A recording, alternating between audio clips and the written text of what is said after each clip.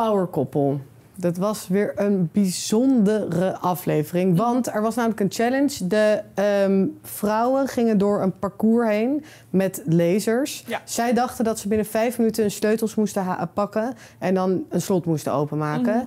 Ehm, maar ondertussen, elke keer als ze een laser raakte... zou hun partner een stroomstoot krijgen. Auw. Ja, maar wat blijkt, dat is dus helemaal niet zo. De challenge is eigenlijk is hoe, hoe lang zullen de vrouwen doorgaan totdat ze stoppen omdat hun partner pijn heeft. Oké. Dus de challenge is anders. Het is een challenge in een challenge.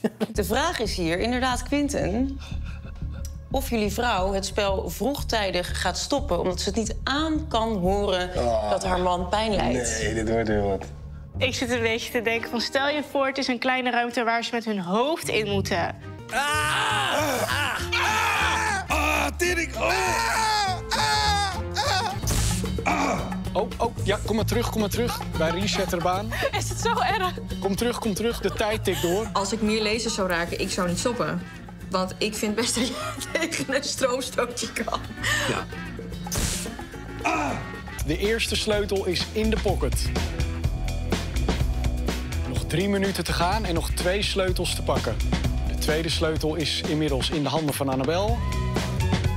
En ook de derde sleutel heeft ze te pakken. En toch is deze opdracht niet gehaald. Wat dan? Hoezo? Want eh, wij wilden helemaal niet zien dat jij binnen de vijf minuten de sloten open kreeg. Wij wilden zien of jij zou stoppen als je door zou krijgen dat René pijn zou hebben tijdens dit spel. Maar hoeveel geld had je ingezet? Ja, 900 valt mee. Echt? Zoveel? Nee, trekken we morgen recht.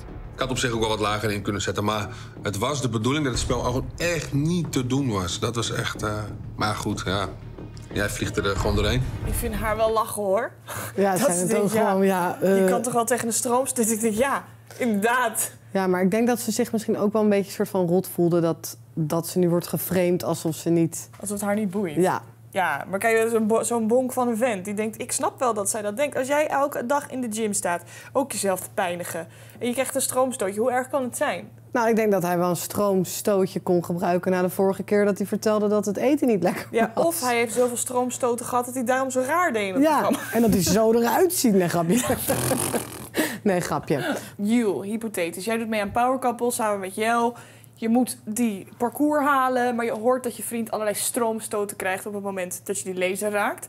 Hoe ver zou jij gaan? Ja, ik denk dat ik nu zou zeggen, ik zou stoppen. Maar dat is meer met het, met het idee dat ik weet Ja. wat, waarom, waarom deze challenge er eigenlijk is. ja, wat ik gewoon irritant zou vinden, ik snap haar irritatie wel. Als jou een challenge wordt uitgelegd, dit is de challenge, dit zijn de regels. En je voldoet de challenge en dan aan het eind zeggen ze, ja, sorry, de regels waren toch heel anders. Ja, dan denk je toch ook bij jezelf, dag. Ja, Ja. nee, ik snap het. Maar ja, ik weet niet. Ik, zou, eh, ik denk dat ik misschien ook wel door zou gaan. Ja, ik weet het eigenlijk niet. Met de, met de kennis van nu zou ik natuurlijk niet doorgaan. Nee.